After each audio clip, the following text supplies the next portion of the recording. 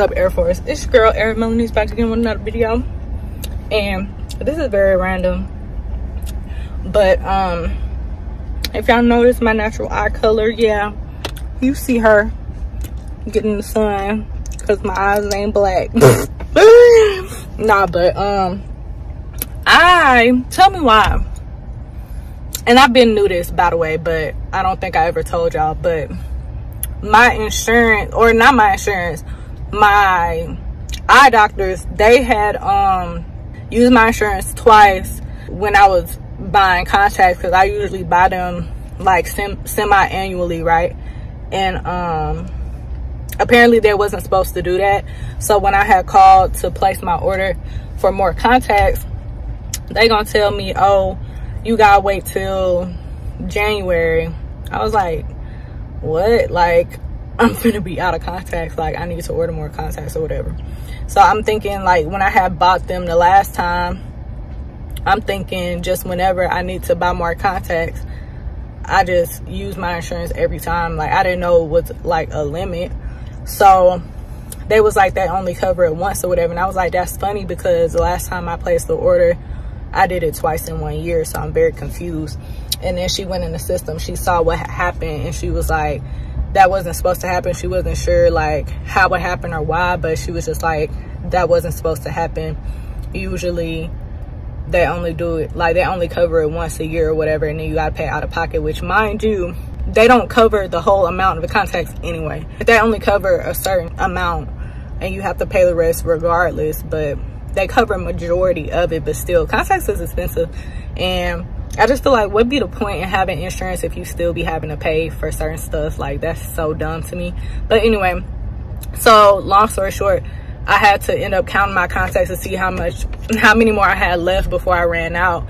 And um, she ended up giving me a whole bunch of like free trial lenses in my prescription just to get me over the year before I needed to buy more lenses. So I just been using them, using the plain clear contacts until I feel like ordering more because I was gonna order it like January 2nd but then I was like actually I'm gonna wait until I get paid because if I have to pay if I can only get the coverage one time a year which mind you obviously if say I did it like mid-year which would be so much more smarter but anywho if I did it like mid-year so like say June if I wanted to be able to maximize the amount of times I can use my insurance without paying too much out of pocket because if I bought them in June, that gave me six months to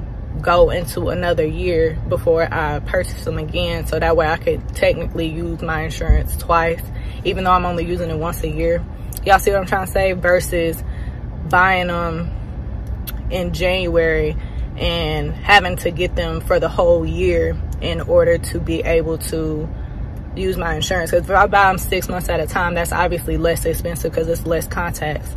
So it would be like six boxes at a time versus 12 but obviously if I want to use my insurance to cover it then I would have to use I mean then I would have to buy all 12 boxes which I want to say is probably $150 that's obviously with it being you know color and whatever. So and usually i think i pay what like 50 each time which i don't mind paying but it's just like dang like y'all be taxing for real. So it's like hmm i don't know. But anyway it's going on five minutes talking about these doggone contacts but uh i was trying to figure out if i wanted to you know, just go back to playing clear contacts. But then I'm like, dang, I don't know because I like the gray. Like, I really do like the gray.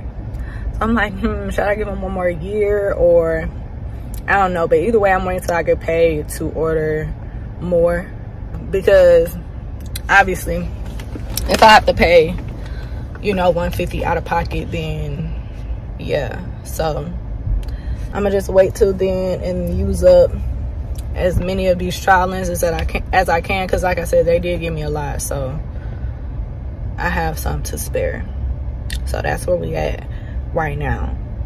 But today i'm gonna finally go. We gonna see if i get my rook checked out. I cleaned it today. I'm not gonna zoom in because like it still got like a little bump on it or whatever. But i'm going to a different shop than i got pierced. So um i don't know if they would check it or not. I'll have to see but i'm gonna see what they say about it. If i need to like clean it or do anything different. And then um but i'm going to a different shop because i want to get like a standard nose hoop and then probably like a a stud with some type of gold in it because i bro y'all remember when i got pierced and i bought a gold hoop? I can't find that hoop. But anyway i need to take this hoop out because it's really tarnished. Like when i get it taken out i'm gonna show y'all up close what it look like. But it was starting to like irritate my nose a little bit at the bottom.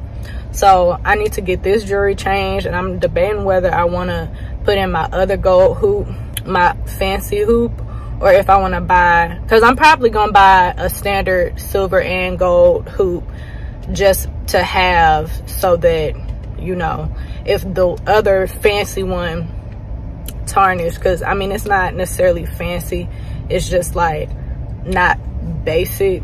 It's it was cheap but it wasn't um it's not just plain silver or gold. It has like a design on it. Y'all will see later but yeah so i don't have to worry about not having hoops anymore. Like if i want to buy more fancy ones i can but at least i have those for backup and i know that you know they ain't gonna tarnish on me but i need to get those.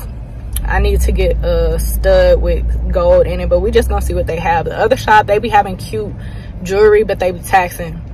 So at this other place i'm gonna see what they got and i'm gonna for sure get at least one plain hoop in either silver or gold and then try to get the stud. If they don't have the stud then i'm gonna get both silver and gold hoops because i don't know what happened to my gold hoop I really need to find it. I was trying to find it the other day and I could not find it to save my life. And watch, you know, you know how you buy something else because you be like, oh, well, I lost it. And then after you buy it, you find it. I hope that don't happen. But anyway, so that's on the itinerary today. I'm gonna finally go ahead and get that out the way. So I'm gonna do that. I gotta get gas. I gotta get food. So yeah, let's just get into it. I'm gonna go ahead and show y'all these now because now that I'm looking at this one up close, I, am kind of having a little bit of doubts about putting it in. I don't know. I feel like this should be like a special occasion one. I don't know. But this one at the top, as you can see, it's very large. Um, on the website, it did say cartilage, but it was still under the nose ring section. But that's like real big. So I'm pretty sure that wouldn't fit in my nose. Then this one, I don't know how fast it's going to tarnish. So I might just end up getting something new to change out what I currently have. We gonna see.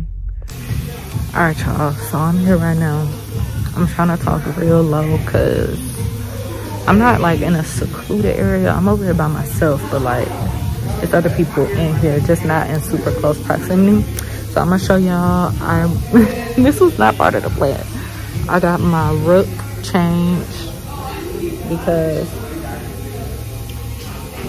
I like the jewelry and I had picked it really for my nose but um she was saying that usually when people get it in their nose it's like towards the bottom and it doesn't like move so she was just recommending other areas for me to insert the jewelry or whatever so um I ended up saying rook because eventually I wanted to change my rook jewelry anyway.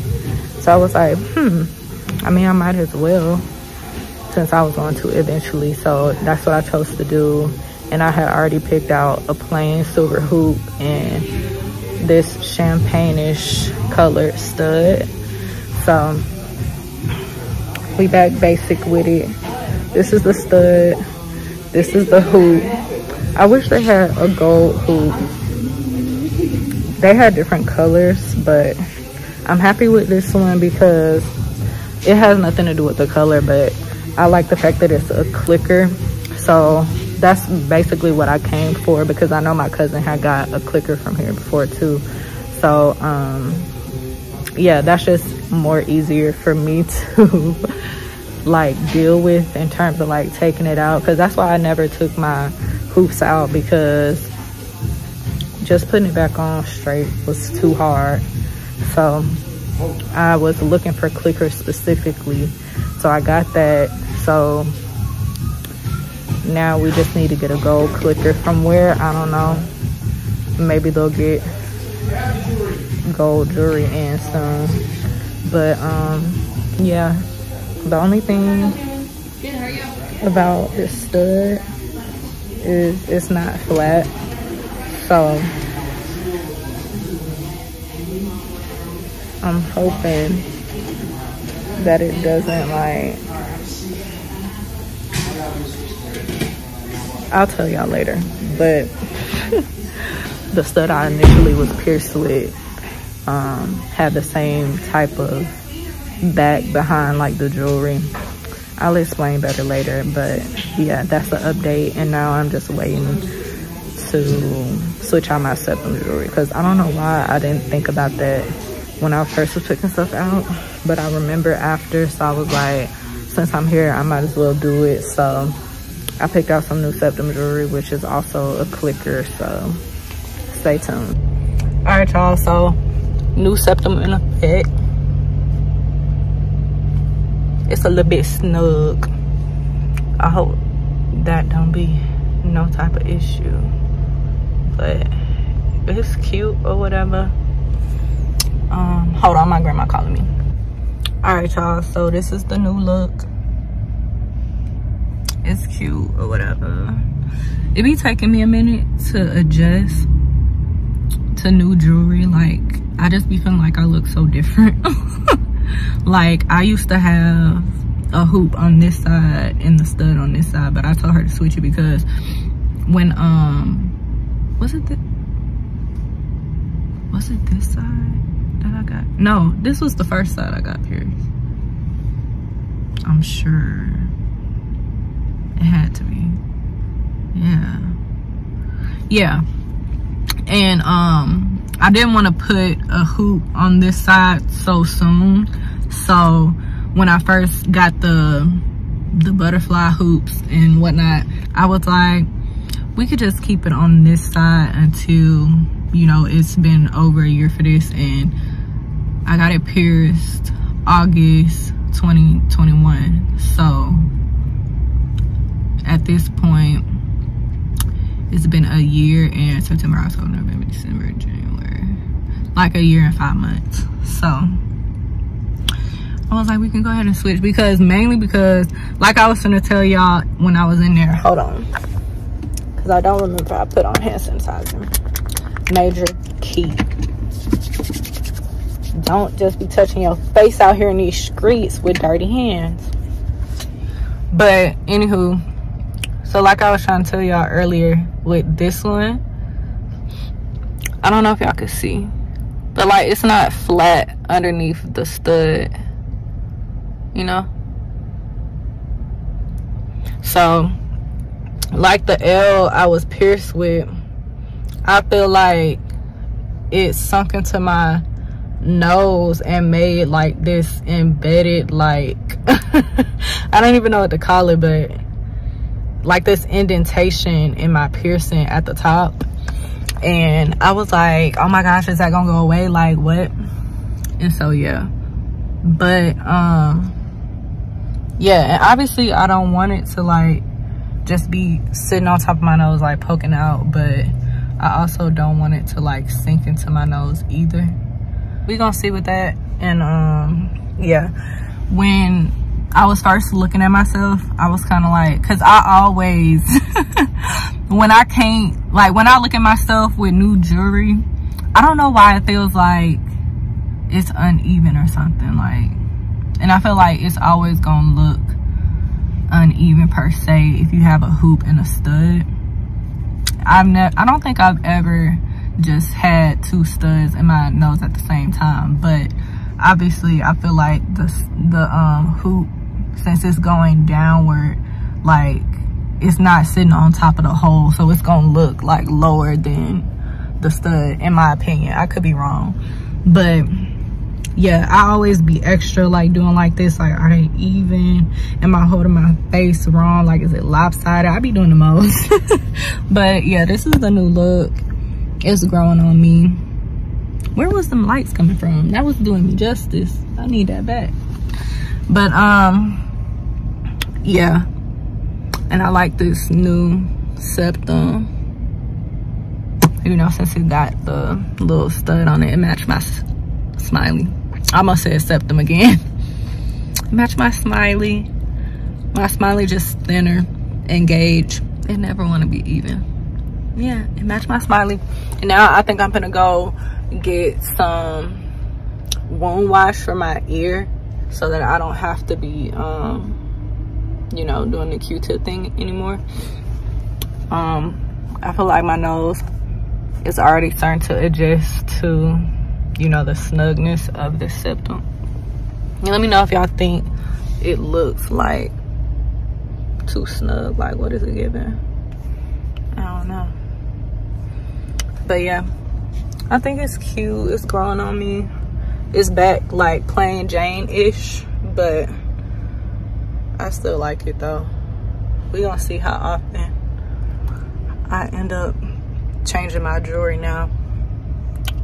But yeah i still have yet to try out my beauty supply store um l bands but i needed to get what i got today because both of these are clickers so this is a clicker. This is a clicker. I just didn't want you know the things that were like hard to get back to a perfect circle. Like i was trying to get that out of my yeah i'm still have them for emergencies but like i wanted to you know have these in my archive or whatever. But anywho, oh, and I almost forgot to tell y'all. So the lady thinks she lost the back to my other nose. Well, she did lose the back of, of the um nose ring because it's not in the bag. It might have fell on the floor. I don't know where it fell because I didn't feel it go in my nose. But for a minute she was trying to like grab it and like asking me to use my flashlight and stuff to see like and she was like you know going around in there to try to get it with like the tool or whatever and whole time i'm thinking like it's like a booger or something like because she didn't tell me what it was at first. She was just like lean over you know blow your nose this is that and third trying to um get me to get it out or whatever. She was like you see it whatever. I'm like no because i'm not even knowing what i'm looking for but obviously if i seen something then i was gonna say you know yeah but i was like i don't see nothing or whatever. And then i just asked i was like what is it? She was like the back and i was like go like i was like excuse me? Like um so long story short we never found it. Um she said if anything i might end up you know sneezing it out or whatever and um that i could use like a saline wash or something like that. And you know she was just basically like it's nowhere for it to go or whatever. And it's like yeah but i didn't feel it go in my nose so i don't think it's in my nose but at the same time i don't know. So like that's kind of scary to not know if you got no an earring back or a nose ring back in your nostril somewhere in the abyss. Like that's a scary thought. But hopefully there's nothing back there and she was just tripping and it fell on the floor. If we ever locate it again i will let y'all know because not we but i mean we as in me. I'll let y'all know. But yeah i'm finna go get some food. I'm gonna get gas tomorrow. And well i'm gonna go to walmart first because i need to get that wash for my rook. Because since it's not um it don't have a ball to cover the scar no more i can clearly see you know the um scarring or whatever so i'll be able to directly spray it in there and hopefully you know we get that squared away and out the way effective immediately and um yeah but this is the new look this is what she's giving and let me know what y'all think. Is she giving even? I just feel like it looks so much more even with the other jewelry, but at the same time, it's like I feel like I was just used to that being on my face. Here I go, rambling, thinking too deep into stuff. But yeah, I'll see y'all in the next clip. All right, y'all. So this is what the butterfly was starting to look like. And yeah, you can see why my nose was starting to get a little irritated. Because, girl, what is that? I had already noticed the, um, like the jewelry around the butterfly part. Like y'all see the dots that's like starting to get, you know, other colors. But it was really when the ring started doing it for me. Like, y'all see that? Yeah. It was time. So she's going in the trash. It was a good run. Um, yeah, it's been real.